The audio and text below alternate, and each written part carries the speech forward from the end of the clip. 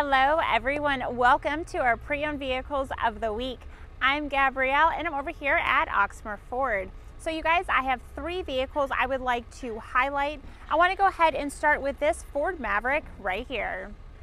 Okay, so like I said, this is a 2022 Ford Maverick XLT. The exterior color is in cactus gray. There's alloy wheels.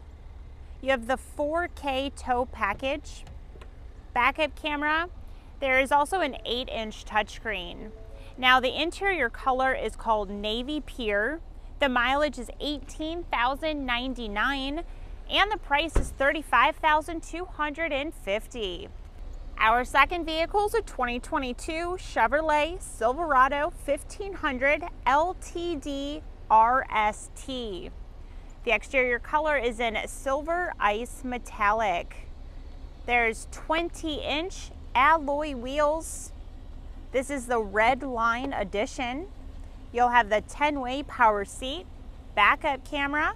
Now your interior color is gonna be in a black.